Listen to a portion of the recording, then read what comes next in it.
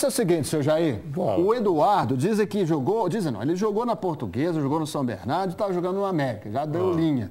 Aí o Joinville veio, a América está irregular, vai perder 21 pontos, vai para a zona de rebaixamento, vai para a Série C, Joinville está nadando de braçada na denúncia. Né? Temos informações novas.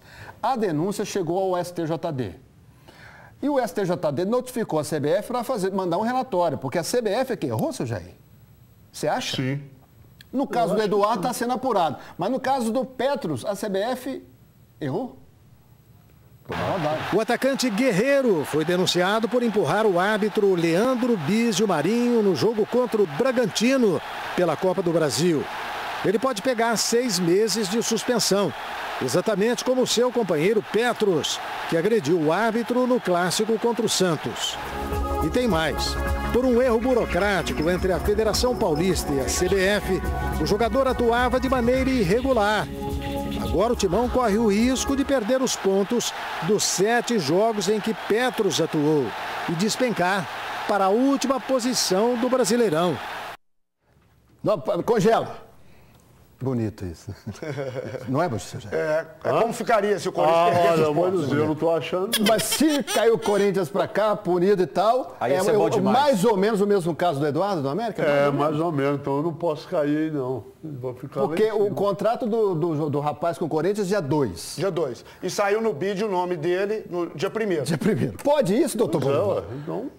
Pode ir. A cara do Bolivar para você, aí. tipo assim, você tá roubado. A cara do para você. Porque o, a, o regulamento mudou, né, Jair? O jogador, até o ano passado, poderia atuar em competições diferentes, por mais de dois clubes.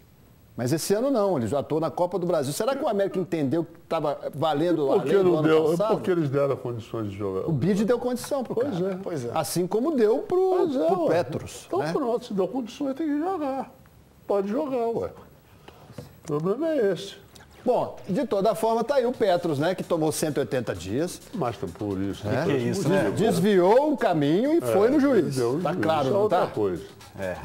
E aí o Corinthians não aprendeu e um atleta do próprio Corinthians também, o é, Guerreiro, fez um lance semelhante, semelhante. muito parecido. É uma rodinha, deve, você sabe, que eles combinaram, deve ser né? também, tá aí o lance. Aí, ó. Tá aí o lance. Vai dizer que foi sem querer. Olha lá, olha como que ele vai de encontro ao árbitro. Nossa. Tanto espaço para correr.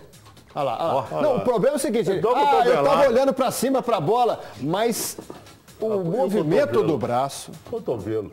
Né? Cotovelo. É. E, deixa claramente. Um lance muito parecido. Então, mais 180 no Guerreiro também, menos sei lá quantos pontos para o Corinthians. Não, né? não, os pontos E não. absolve o América. Não mexer com os pontos, não. Vamos só, só multar esse jogador. Ele foi aí, no arco nesse aí, né? Tá na cara que ele foi no arco.